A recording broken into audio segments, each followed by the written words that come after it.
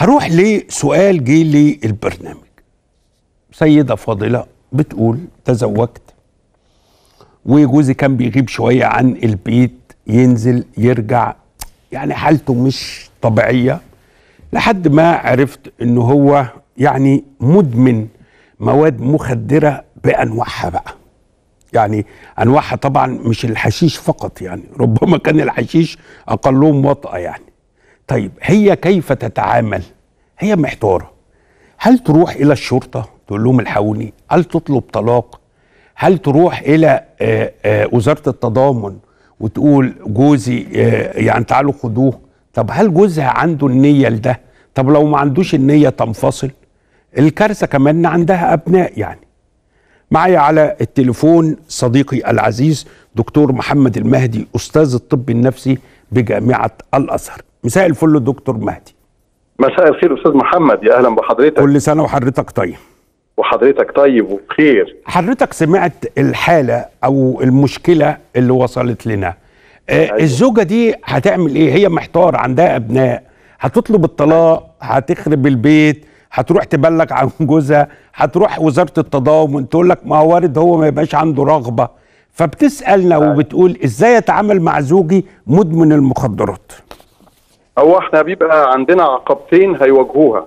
العقبة الأولى هي عدم الرغبة وعدم الحماس لل- للعلاج إنه أي حد بيتعاطى مخدرات ما بيبقاش عنده الرغبة ولا الحماس لأنه هو يعالج. يعني ده تقدر تقول مثلا 90% مم. آه هيبقوا كده. فالعقبة الثانية هي الإنكار. إنه آه كل مدمن بيبقى عنده دفاع الإنكار إنه لا ده ما فيش حاجة لا ده أنت بيتهيألك ده ده حاجة ما تستاهلش. ده أنا باخد نفس كده كل ثلاث أربع شهور أو ده أنا كنت باخد وبطلت بقالي سنتين ثلاثة وهو بيكون لسه واخد من نص ساعة. مم. فالإنكار آه وعدم الرغبة في ال- العلاج. دول هيبقوا عقبتين هيواجهوا الزوجة. فالزوجة بتمشي في خطوات متدرجة. أول خطوة هي ال- المصارحة. إنها تصارحه إنها شافت وعرفت و...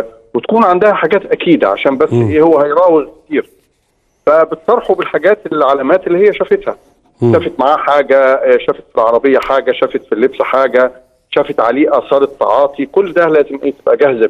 مم. فأول حاجة المصارحة الم... ال...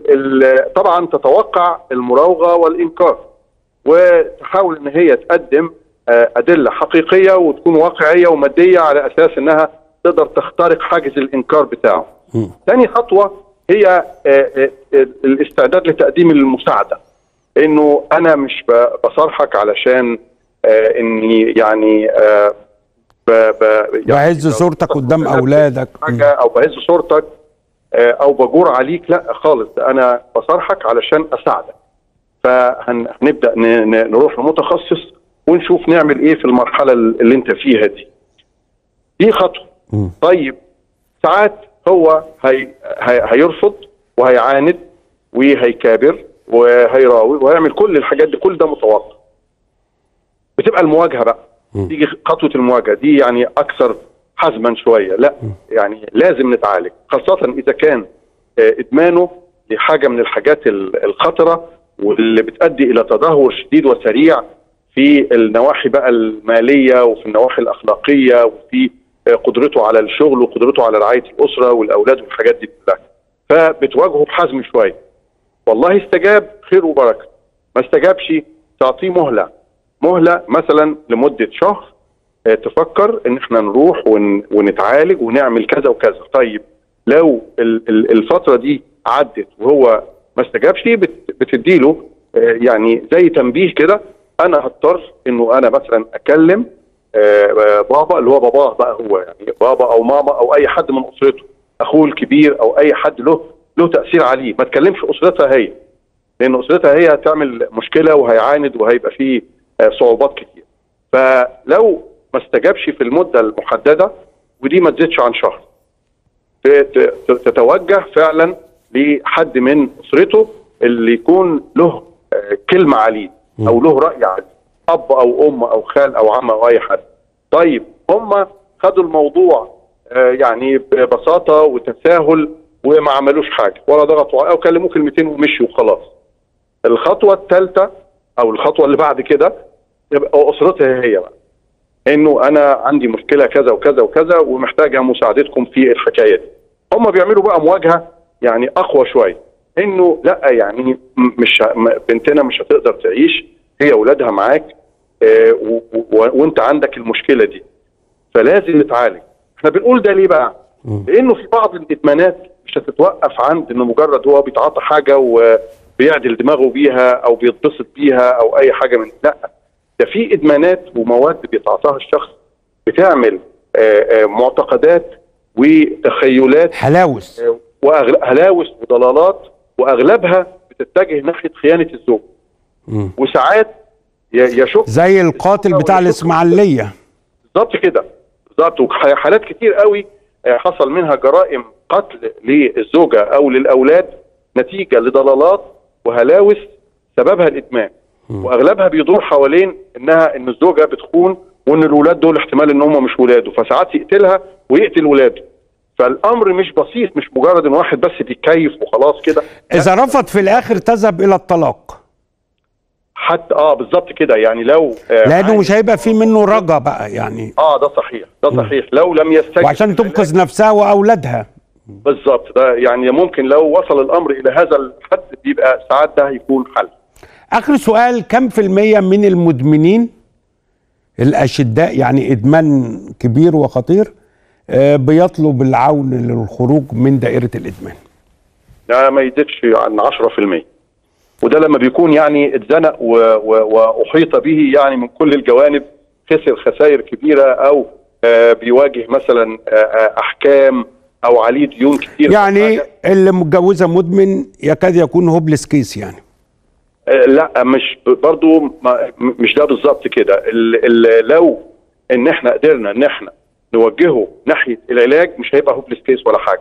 حالات كتير جدا بتتعافى بس بشرط إنه يمشي في برنامج علاجي مظبوط مش يدخل مستشفى أو مصحة أسبوعين ثلاثة ولا شهر ويقول أنا اتعالجت ده مش علاج ده مجرد يعني مجرد بنسميه إحنا detoxification أو دكتور آه، محمد المهدي هل هل هل حضرتك تنصح كل ولي أمر في عريس بتقدم لبنته يطلب منه تحليل مخدرات؟ والله ده كان وارد وكان فيه يعني يعني بعض مش أنا حقي كأب أطمن على آه ال- الراجل اللي هيتجوز بنتي؟